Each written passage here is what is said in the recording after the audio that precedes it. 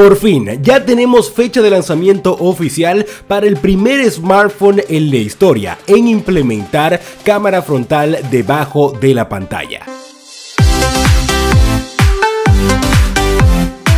Hola amigos de Tescatec, ¿cómo están? Asimismo, como les dije en la intro de este video, ya tenemos fecha oficial de lanzamiento para el primer smartphone con cámara frontal debajo de la pantalla. Y esto lo tendremos gracias a la compañía ZTE con el lanzamiento del ZTE Axon 25G. Cabe resaltar, como muchos de ustedes saben, que ZTE no es la primera compañía en trabajar esta implementación, ya que hace algunos meses atrás vimos a compañías como Oppo y Xiaomi presentando sus prototipos de esta tecnología, pero como hemos visto ZTE llevará la delantera ya que será la primera en traer esta implementación al mercado. Como pueden ver en pantalla en la invitación, este próximo primero de septiembre es que se va a desarrollar el evento de lanzamiento, pero en esta ocasión les voy a hablar sobre las últimas filtraciones y rumores que tenemos sobre este dispositivo. Y comencemos hablando sobre el diseño, ya que han salido varias imágenes que muestran cómo será el aspecto de este teléfono. Pueden ver en esta imagen de la parte trasera apreciamos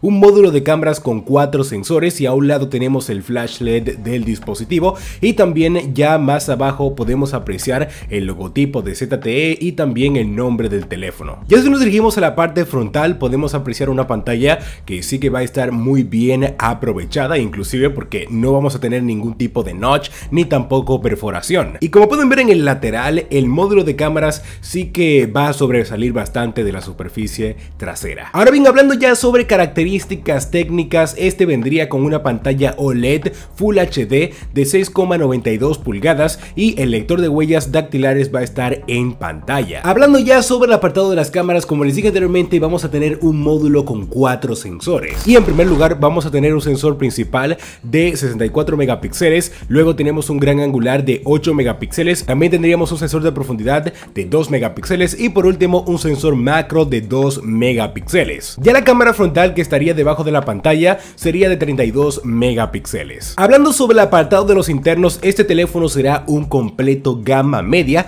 ya que vendría con el Snapdragon 765G, el cual es un muy buen procesador, y también este tendría tres versiones de memoria RAM. Hablaremos de 6, 8 y 12 GB de memoria RAM que estarían acompañadas de versiones de 64, 128 o 256 GB de almacenamiento interno. Y en cuanto a la batería, esta sería de 4120 mAh, que es una batería bien grande. Ahora bien, abundando un poco más en el apartado de la pantalla de ese teléfono que va a permitir poder tener una cámara debajo de esta, este panel ha sido fabricado por Vision Knox. Aquí arriba en una etiqueta les voy a dejar un video que hice hace poco hablando sobre esta fabricante, la cual estaba trabajando en este panel y en el mismo video dije que en este año íbamos a ver un dispositivo. Y como pueden ver, esta información se ha concretado ya que el ZTE Axon 20 5G será el primero en traer este panel. Este panel de Visionox cuenta con un sistema de doble pantalla en el que la zona que está en la parte de abajo, en la cual está la cámara, tiene una mayor transparencia. Obviamente esta tecnología tenía algunos defectos, pero la fabricante ha confirmado que ha corregido todos estos errores y esto lo vamos a ver